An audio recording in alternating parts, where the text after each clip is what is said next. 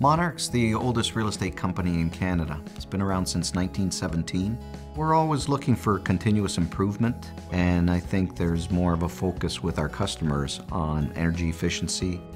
We have to look for the future generations and kind of foresee what is coming down the pipeline in terms of market demand, regulations, and for that reason, we have to focus and dwell on building great for not just the existing generation, but for the future generations.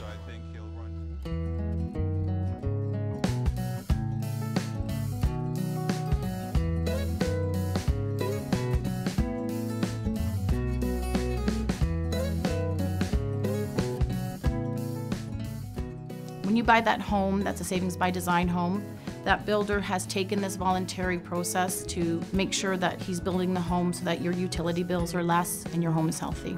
It really looks at the green side of building. It's great for the community, it's great for the home buyer, it's great for the environment, and it's great for the builder. We genuinely try and treat these homes as if they were our own. And what would I do for my house? Five, ten years ago, you may have had furnaces that were larger and used more gas. Now, by going through this Savings by Designs program, we can look to maybe downsize the furnaces. And for the homeowner, that would be a savings in terms of costs. But over and above the savings on the energy, it's also the indoor comfort.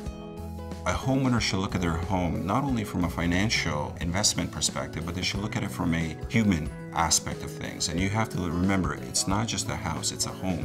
You're living in it, your health matters more. It's a personal investment rather than a financial investment.